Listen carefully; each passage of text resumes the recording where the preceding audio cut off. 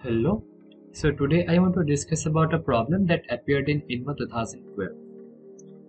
It's a problem on number theory mainly involving prime numbers. So this will give you a general idea to how to solve these types of prime number problems. At the end of this video I'll give you a similar type of problem on prime numbers. You can try that on your own and if you have found out the solution you can type the solution in the comment box. This video is sponsored by Cheenta.com.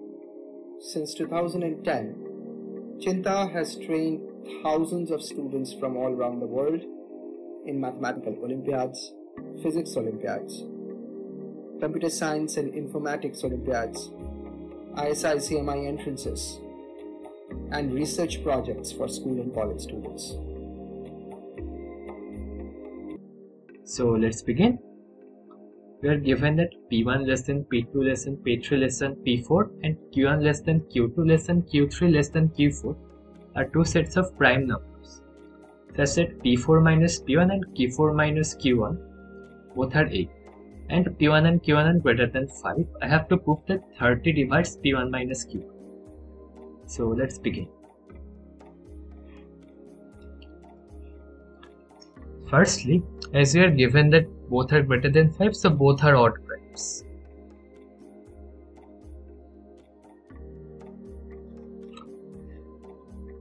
so p2 p3 p4 both lies in the interval. It can be between p1 plus 1 and p4 is just p1 plus 8 so in this interval all the other primes lay now as p1 is odd. So P1 plus any odd number is even. So P1 plus 1, P1 plus 3, P1 plus 5, P1 plus 7, they cannot be primes because they are all even. So we have to exclude them. So what can we say that?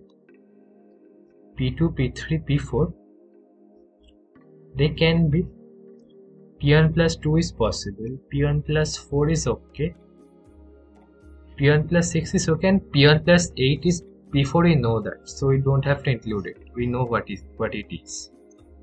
So p2 p3 can be any one of these three numbers. P1 plus 2 p1 plus 4 and p1 plus 6 now let's see whether all of them are possible or not. See i have to prove that p1 p1 minus q1 is congruent to 0 modulo 30 so first i will find p1 modulo 30 and as are, these are two sequences of prime numbers and they behave like same. So let's it's enough to work with the sequence p1 p2 p3 and p4 only because analogically the sequence q1 q2 q3 p4 will also behave same. So i will state the same results for them. So first let's find what p1 modulo 30 we'll eventually know that q1 modulo 30 is also same now to find P1 modulo 30, we need to find P1 modulo 2, 3 and 5. So P1 modulo 2 is 1, we know that because P1 is odd. So let's try to find modulo 3 and modulo 5. So our target is to find P1 modulo 3 and P1 modulo 5. Let's see what are the possible. Now P1, P1 cannot be 0 modulo 3 0 mod 3 is not possible because P1 is greater than 5 and it is prime. Can P1 be 1 mod 3 or 2 mod 3? Let's see. P1 congruent to 1 mod 3 implies this set. What does this give modulo 3? P1 plus 2 is congruent to 0 mod 3. P1 plus 4 is congruent to 5 means 2 and p1 plus 6 1 plus 6 is 7 that is 1 it's okay. Can p1 be 2 modulo 3 p1 is congruent to 2 modulo 3 implies p1 plus 2 is congruent to 4 means 1 p1 plus 4 is 2 plus 4 that is 6 modulo 3 and that is 0 modulo 3 and p1 plus 6 p1 plus 6 is 2 plus 6 8 that is 2 modulo 3 so okay, but we also have p4 equal to p1 plus 8 if p p1 is congruent to 1 that would mean P4 is congruent to 1 plus 8, 9. So that means P4 congruent to 0 mod 3, but P4 is a prime bigger than 3, so it can never be congruent to 0 mod 3. P1 congruent to 1 mod 3 is not possible. In this case, what we get? In this case, we get P4 congruent to P1 plus 3, that is 8 plus 2, 10. That is congruent to 1 mod 3, and that is also fine. Okay. But if P1 is congruent to 1 mod 3, that would mean P4 is congruent to 0 mod 3. That would be a contradiction. So P1 cannot be congruent to 1 mod 3. It is not 0 either. So P1 must be congruent to 2 mod 3. So P1 is 2 mod 3. Now P2 and P3 they lie in this set and modulo 3 they give these numbers give 1, 0 and 2. Now 0 cannot be 0 cannot be occupied by P2 and P3 because none of them are 0 mod 3. So this must be given by P2 and this must be given by P3. So what can you also conclude that? P2 equal to P1 plus 2 and P3 equal to P1 plus 6. P1 plus 4 is not possible.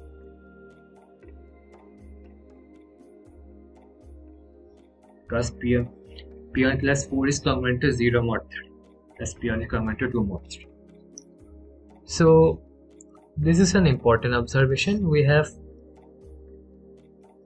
P1, P2, P3, P4 is just P1, P2 is P1 plus 2, P1 plus 6, P1 plus 8. Now mod 3, okay, now we need to check the modulo 8 sorry modulo 5 what are the distinct possible values of p1 mod 5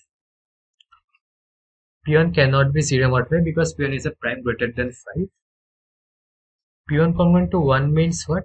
What becomes of this tuple modulo 5 this is 1 this is 3 this is 1 plus 6 7 7 is congruent to 2 mod 5 this is 1 plus 8 9 9 is congruent to 4 mod 5 and this is okay. A prime can give this residues modulo 5 that's fine. Can p1 be congruent to 2 mod 5 that would give me 2 plus 2 4 mod 5 2 plus 6 8 mod 5 but 2 plus 8 10 so that that gives me p4 that is p1 plus 8 divisible by 5 and that is a problem so p1 cannot be 2 can it be 3 modulo 5?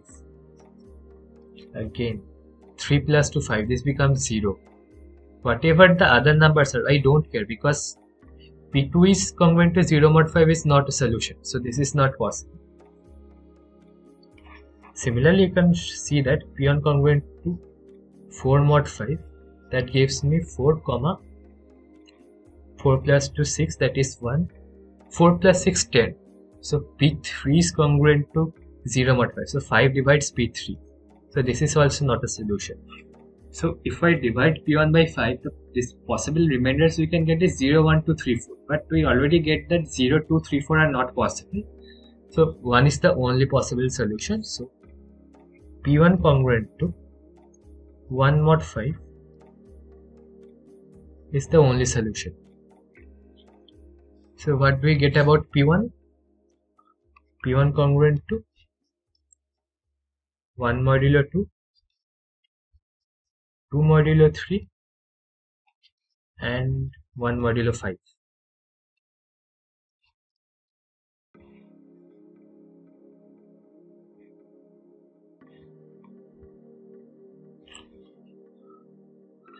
See because this sequence Q q1, q2, q3, q4 also behave the same, I can replace p's by q's and the results will be same.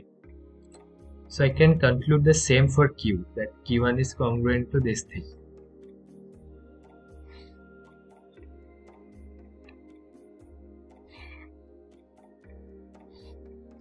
This holds.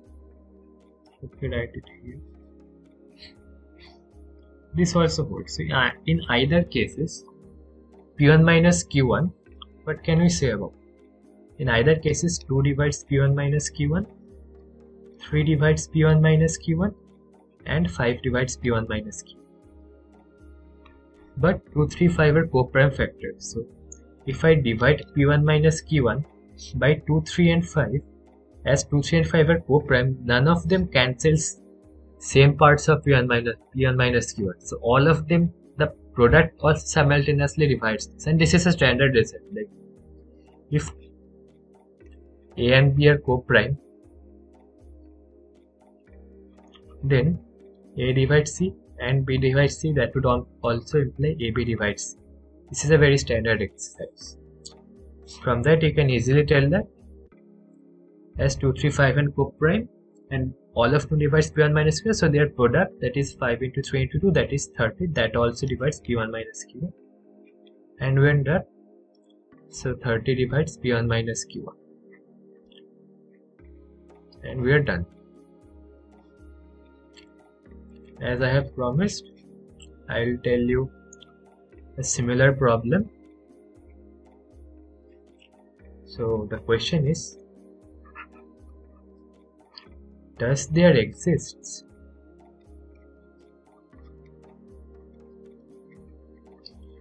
three primes.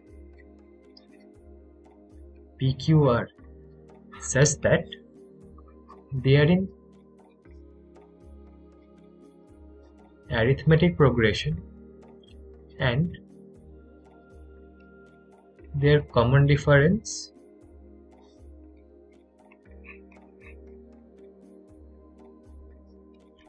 is less than 5. So you are asked to find whether there exist 3 primes such that they are in AP and their common difference is less than 5 or not. If it is not possible, you have to prove that, and if it is possible, you have to find such examples. So try that on your own, and if you have find out the solution, you can type that in the comment box. And if you're interested in problems involving prime numbers, keep involved scrolling through this channel. There are a lot of contents involving that. Thank you. Cheenta programs are designed for students who are passionate about mathematics. And they are personalized with one on one training, individual evaluation, and remedial sessions. The reason Cheenta students are successful over the last 10 years because they are taught by mathematicians and real Olympiads from leading universities in India, United States, and Europe. Some of our students come back to teach at Cheenta from Oxford, Cambridge, Harvard, MIT, UCLA, ISI, CMI, IITs, TIFR, and IISc. For more information, visit cheenta.com.